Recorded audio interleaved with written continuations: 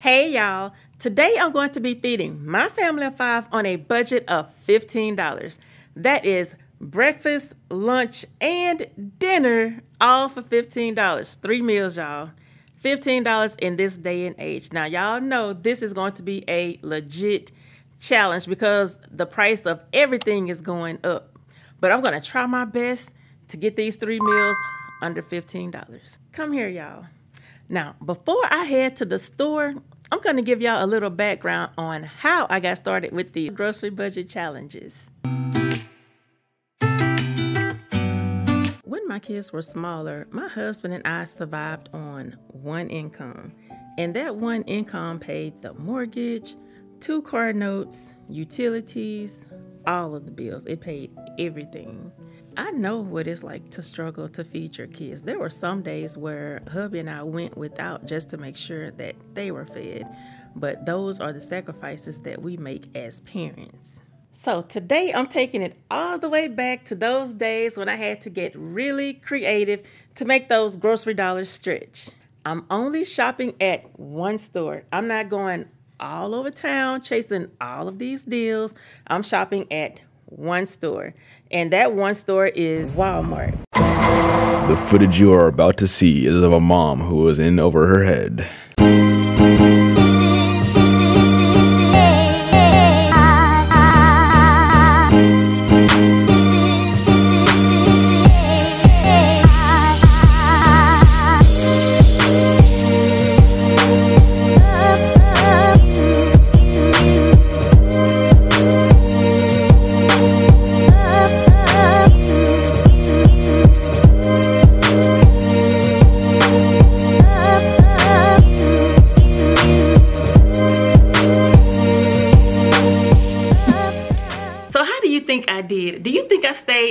Budget or do you think I went over budget? Let me know down in the comment section. I'll let you know later in the video how much everything costs. I'll let you know if I went over or if I was under budget. But first, let me get out of these outside clothes. I don't like wearing outside clothes inside the house. I don't know if y'all are the same way, but I do not like wearing outside clothes in the house. So let me change clothes and then I'm gonna get to cooking because I have some hungry faces staring at me. Everybody's ready to eat.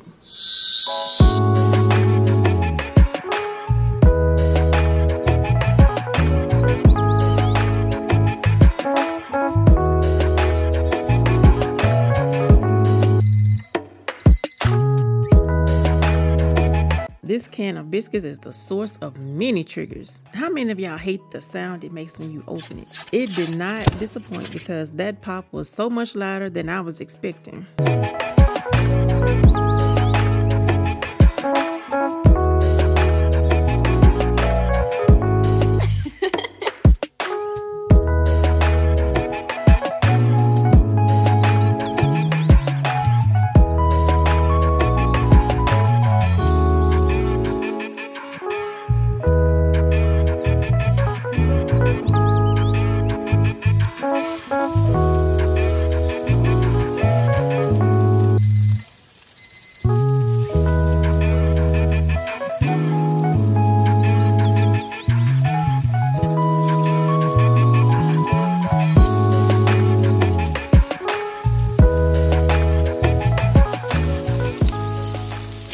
Using is bacon grease. I save this every time I cook bacon and I store it in the refrigerator.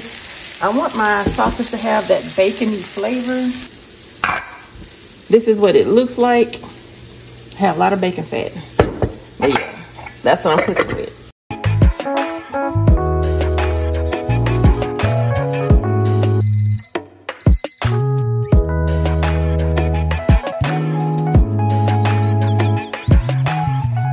Right now I'm just checking the middle of the sausage to make sure it's not pink on the inside. There's nothing worse than biting into a piece of sausage and the whole inside is pink.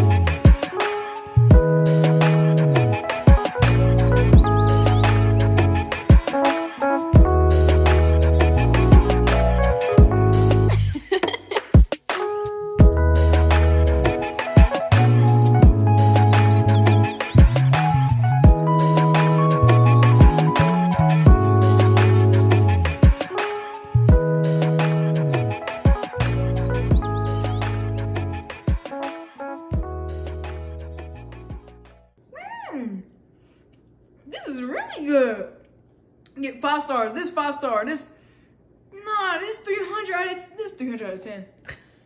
Three hundred out of ten.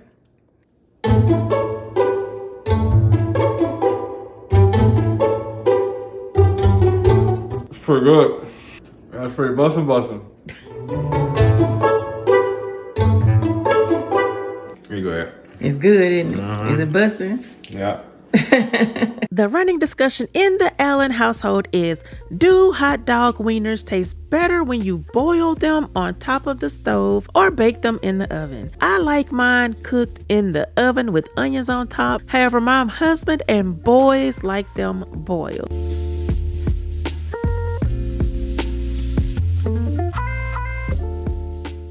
So the only thing that I did not buy at the store is the ketchup, the relish, and this is mustard from Whataburger. Now, one thing that you can do is if you don't have condiments, what we do is grab extra condiments when we go to the store. So this is our condiment drawer. Get you some free condiments and that will lower your out of pocket when you are making dishes that require ketchup, mustard, you know, things like that. So now everyone is going to dress their hot dog and then we're going to eat lunch. Thank you.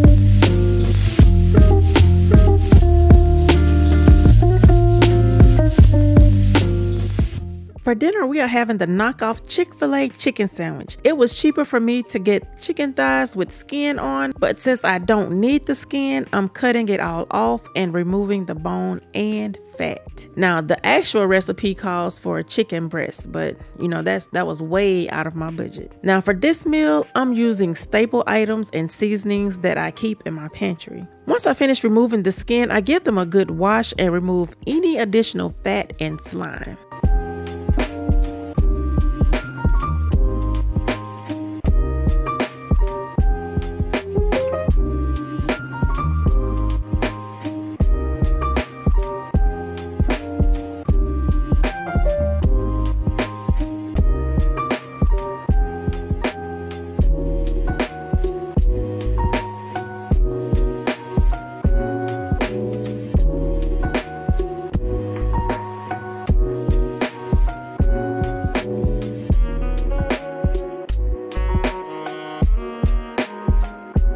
After they are thoroughly cleaned, I get a Ziploc bag and pour a half a cup of pickle juice and a quarter cup of water in it.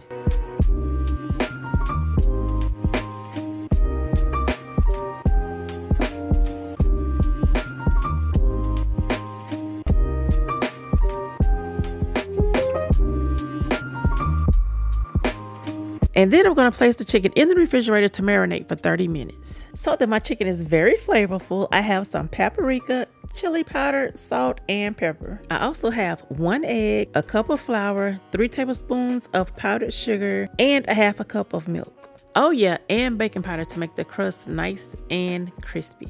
These are all essential items that I keep in my spice drawer and cabinets. Now, I could have just baked the chicken with salt, pepper, and added a little butter, but I know my family. And even though I'm doing a $15 grocery challenge, it has to make sense for my family. I'm cooking things that I know they will eat, which in the end will result in me not wasting money. If you want to do any type of grocery challenge, check your pantry, refrigerator, and freezer first before going to the store. Get creative with your meals. There's no right or wrong way to do this. And as a mom, you know exactly what your family will and won't eat. So take that knowledge and put together a meal plan that's a perfect fit for your household.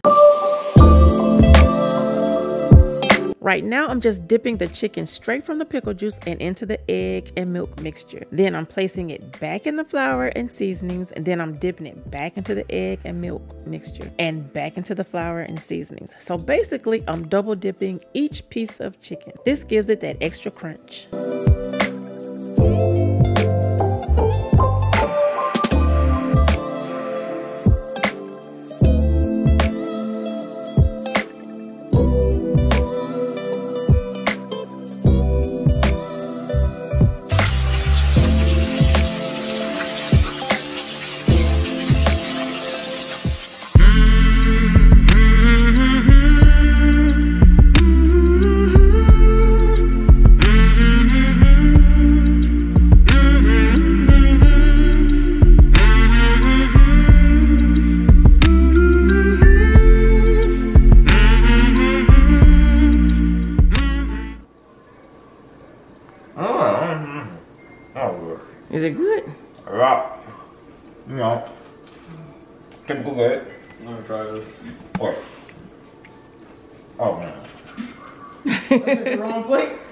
Yeah, cause mine honey mustard and I'm not doing that shit for honey mustard other way, man.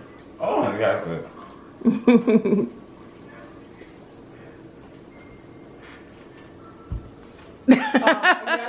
Did it make you have a heart attack?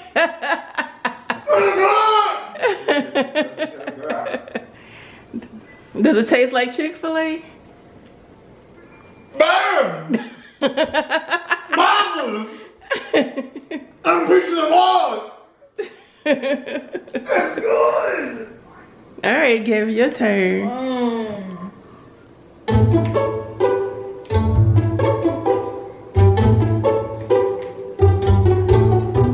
What was that? Need a fork?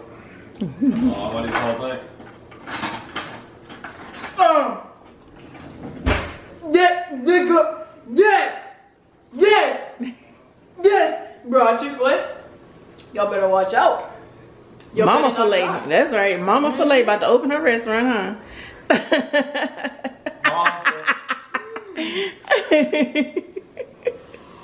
About to have Mama Filet. so, how much did I spend out of pocket? Let's find out.